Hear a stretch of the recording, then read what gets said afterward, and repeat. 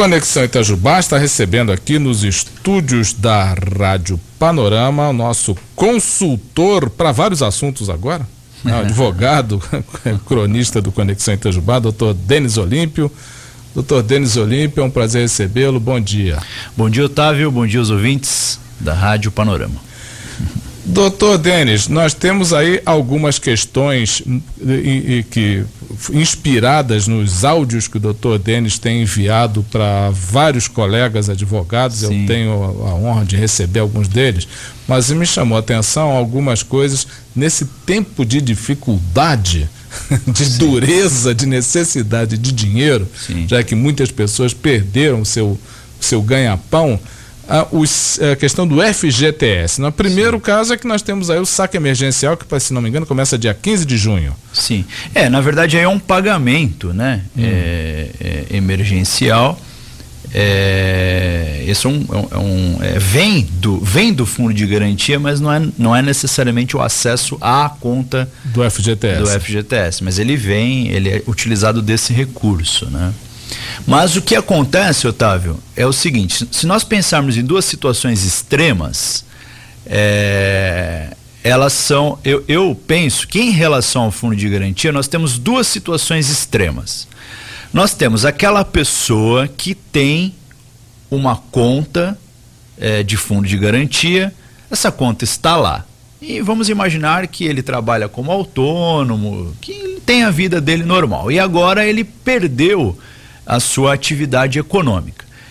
Ele pode entrar com um processo para sacar esse fundo de garantia, porque a lei que regulamenta o fundo de garantia, ela vai dizer que em casos de emergência, em casos de situação de calamidade, como essa, como essa, exatamente como essa, é, a pessoa pode sacar esse valor. Então tem muitas pessoas, nós sabemos, que tem contas lá é, então, vamos imaginar que a pessoa, a pessoa pediu demissão do último emprego, uhum. né?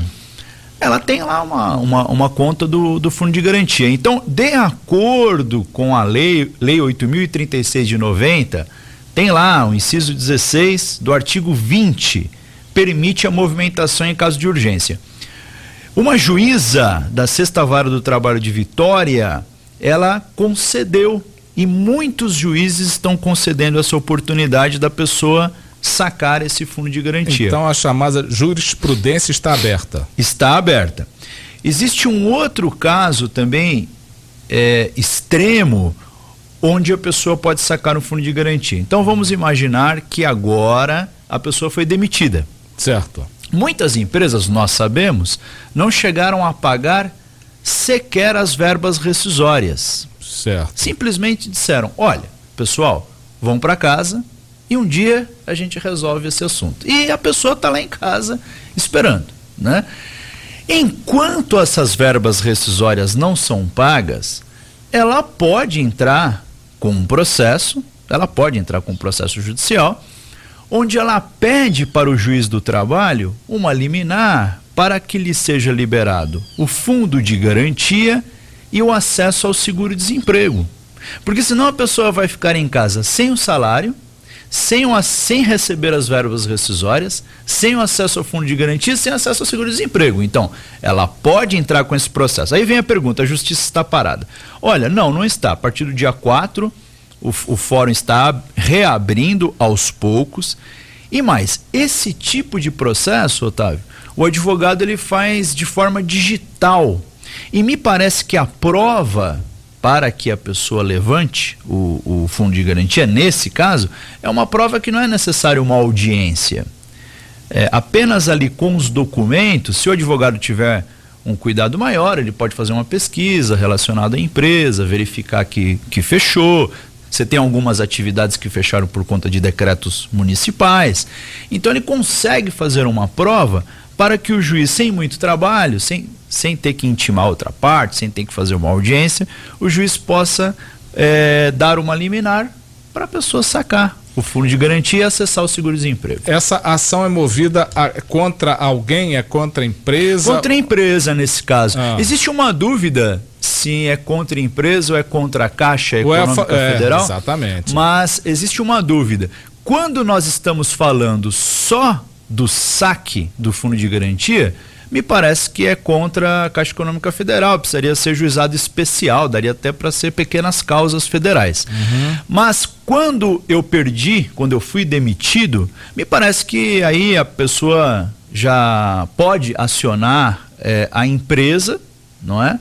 é? E aí a empresa posteriormente ela vai ser chamada em juízo para pagar as verbas rescisórias e outros direitos que a pessoa tenha. Mas isso vai ficar para um segundo momento, né, Otávio? Pelo menos agora, já ela vai ter acesso ao fundo de garantia ao seguro-desemprego. Essa liminar, vamos chamar, é uma liminar que os juízes é, pedem. Então, é. essa liminar permite que ele tenha, faça o, é, o saque do FGTS e do seguro-desemprego. Exatamente. E aí ele consegue as chamadas guias, né, a documentação necessária para ele acessar o seguro-desemprego. Eu acredito que os juízes aqui de, de Itajubá e de toda a região estão preparados, estão, eu diria, é, conscientes da necessidade de conceder essa, essa liminar, já que as audiências presenciais, com a presença das partes e tudo mais, ficou um pouco prejudicado agora por conta dessa, dessa situação. Quer dizer, né? então, com, com a, como a partir do dia 4 a Justiça já voltou uhum. às suas atividades, mesmo que virtualmente, ainda Sim. não presencialmente, Sim. esse tipo de ação é possível? É possível. Eu penso que é um bom caminho. Uhum. Existem outras, outras situações é, em que será necessário mover também um, um processo, né? Tem algumas situações, Otávio, são, são polêmicas, mas eu, eu acho que é interessante a gente falar aqui. A justiça tá olhando, está observando com muito cuidado, por exemplo, as demissões em, em massa.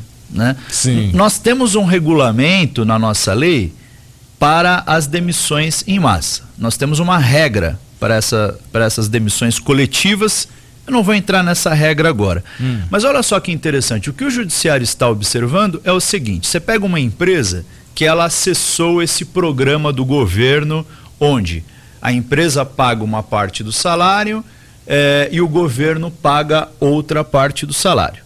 Então ela acessou esse programa para a maioria dos funcionários, 90%, 100%, 80% dos funcionários. E ela pega funcionários que têm a mesma função destes que ela utilizou o programa e demite. Demite 10, 20, 30, 300. Eu vi, por exemplo, que a Gardênia é, demitiu 300 pessoas. Hum. Né? O judiciário está olhando isso daí com uma certa cautela. A interpretação está sendo a seguinte: bom, se o governo ofereceu um programa, se você acessou esse programa para a maioria dos seus funcionários, me parece que a demissão nesse momento não é, não é correta deveria esperar pelo menos 90 dias, o término do programa emergencial, para que depois sim fizesse a demissão. Então, olha o que está acontecendo. Alguns juízes estão pedindo para reintegrar essas pessoas. Quer dizer, então podem ter empresas é? que estão se aproveitando da situação para é, já fazer alguma coisa que já estava pensando em fazer antes. Então, né? Está usando aí o Covid com a. Pode uma... ser que seja isso, né, ah. né, Otávio? Mas pode ser que seja também é, um problema de gestão, um problema de, de falta de, de conhecimento, de falta de orientação. É, e às vezes até uma, um, um, um, um aproveitamento, como você está falando. Mas veja, é a lógica. O governo entrou com esses programas para preservar o emprego. A empresa acessa esse programa e mesmo assim faz uma demissão em massa, sendo que nós temos ainda dois, três meses de programa.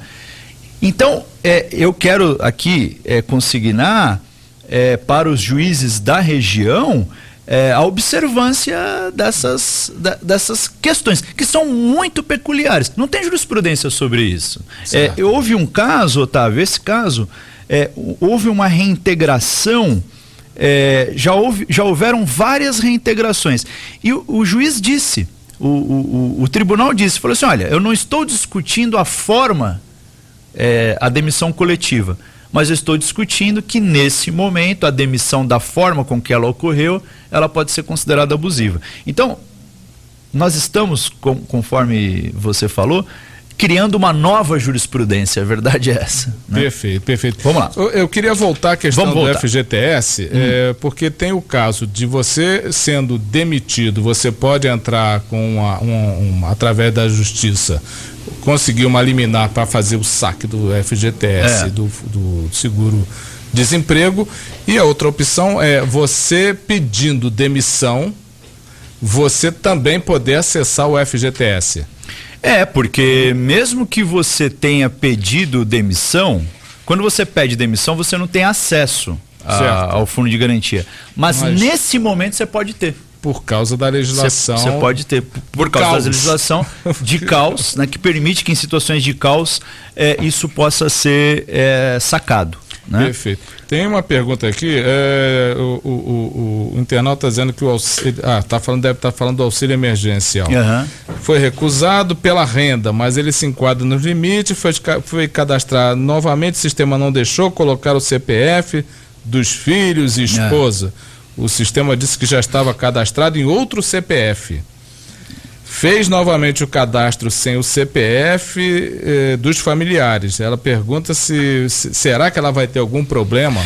Ah, o, o, presidente da Caixa diariamente ele fala sobre essas questões que estão acontecendo. A ah, me parece a Caixa está se esforçando muito para evitar esses cruzamentos de dados é, ela tem que continuar tentando entrar em contato com a Caixa. Né? É, eu entro em contrato com a, em contrato não, em contato com a Caixa diretamente, é, é. procura a gerente lá, a Renata, que eles, estão fazendo, dando uma, a, a, um bom apoio em relação a isso, Sim. ou a Caixa da OAB, que fica perto da Agência Sim. Central da Caixa Econômica, ali na Antônio Simão Mauad, número 40, ou o mais simples é o que está todo mundo fazendo. Se a, o problema é em relação ao caixa tem, tira ele do celular e baixa isso, de novo. Que isso. é o que, tá, que diz que é o que está é, resolve, resolve algumas situações. Otávio, já que nós estamos falando de bancos, tem uma decisão aqui sobre bancos. Pois não. O juiz da 23ª Vara de Belo Horizonte determinou que os bancos publiquem informações corretas sobre os termos para a prorrogação da dívida.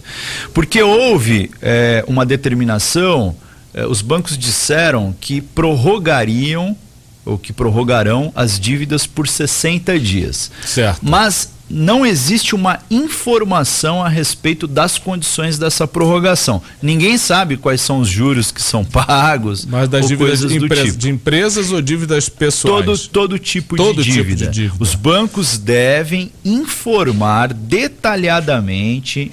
É, principalmente em relação aos juros e encargos, quais são as condições para a renegociação da dívida.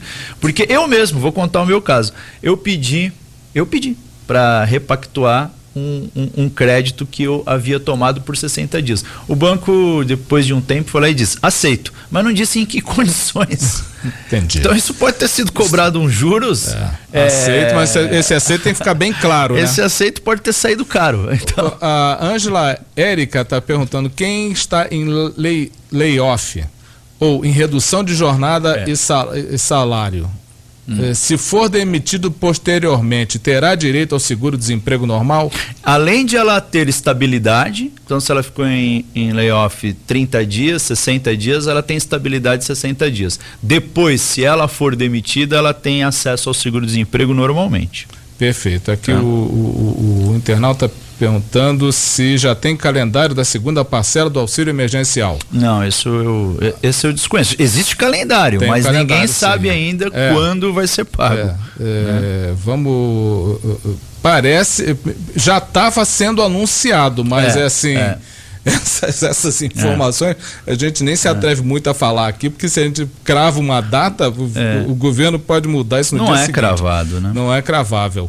Doutor Denis, é.